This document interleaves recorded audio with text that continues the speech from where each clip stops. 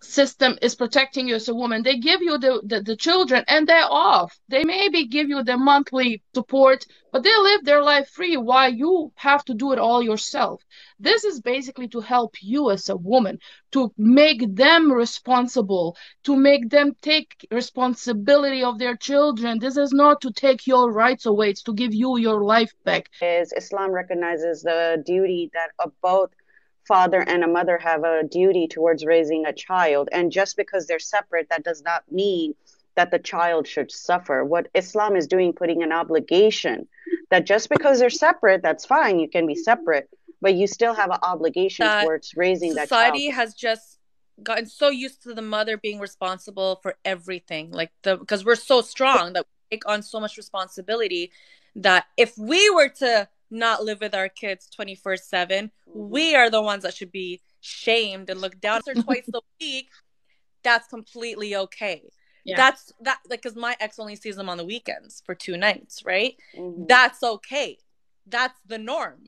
But for a mother to only see them on the weekend oh. And you see even in the comments even the women are upset like what do you mean the kids go to the father?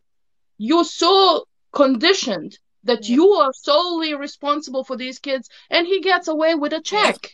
Proves though that men sometimes need to step it up because if men are maintainers and protectors they really need to come forth with that role. Exactly.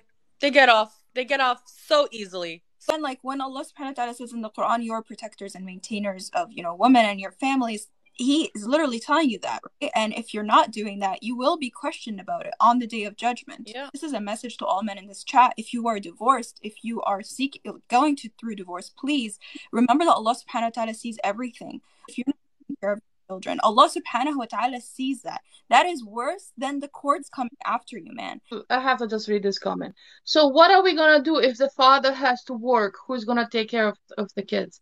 Who is asking the mothers Yes. have to go to work. Who in the heck is asking the mother? Many mothers have gone to jail.